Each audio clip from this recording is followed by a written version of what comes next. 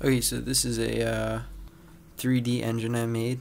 Right now it's um, graphing the graph z equals x squared plus y squared, and that makes a sort of double parabola, so it's a parabola in three dimensions.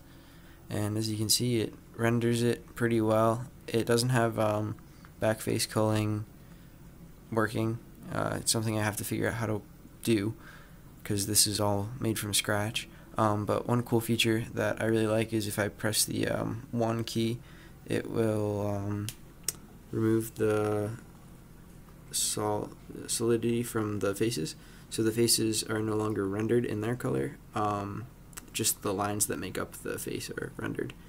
Uh, I experimented with um, texturing using affine transform and texture paint, but my offsets are messed up a bit and affine transform and uh, actually no no texture paint isn't filling the polygons that I have defined correctly.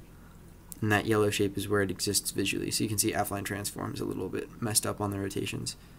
Uh, let's see. If I hit zero it shows you the points that make up the shape. So these are a list of all the points that make up the shape. And um, yeah, they're all rotated in a three-dimensional space, but this is done without the use of uh, OpenGL at all. This is just a 2D representation of 3D shapes. So yeah, that's pretty much it.